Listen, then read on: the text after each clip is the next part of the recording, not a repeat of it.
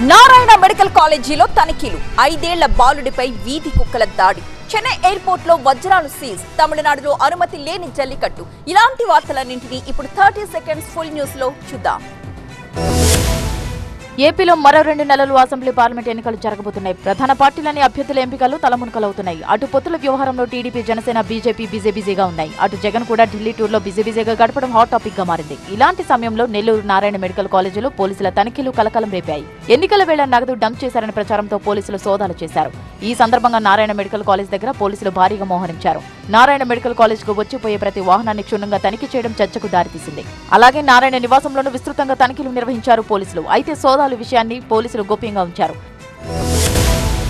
చెన్నై ఎయిర్పోర్ట్లో డిఆర్ఐ అధికారులు వజ్రాల స్మగ్లింగ్ చేస్తున్న వ్యక్తిని అరెస్ట్ చేశారు. అతని వద్ద నుంచి సుమారు రెండున్నర కోట్ల విలువైన వజ్రాలను స్వాధీనం చేసుకుని సీజ్ చేశారు. విమానంలో బ్యాంకాక్ వెళ్ళేందుకు ప్రయత్నించిన వ్యక్తిని చెన్నై ఎయిర్పోర్ట్లో అధికారులు తనిఖీ చేయగా అక్రమ వజ్రాల గుట్టు రట్టయింది. అతని బ్యాగ్ చెక్ చేయడంతో భారీగా వజ్రాలు బయటపడ్డాయి. ఒక వెయ్యి మూడు పాయింట్ తొమ్మిది తొమ్మిది క్యారెట్ల డైమండ్స్గా గుర్తించి వాటి విలువ సుమారు రెండు కోట్ల ముప్పై మూడు లక్షలు ఉంటుందని చెన్నై ఎయిర్పోర్ట్ అధికారులు అంచనా వేశారు. తనిఖీ సమయంలో ప్రయాణికుడు చెకింగ్ నుంచి తప్పించుకునే ప్రయత్నం చేసినప్పటికీ డిఆర్ఐ అధికారులు చాకచక్యంగా వ్యవహరించి వజ్రాలు స్వాధీనం చేసుకున్నారు.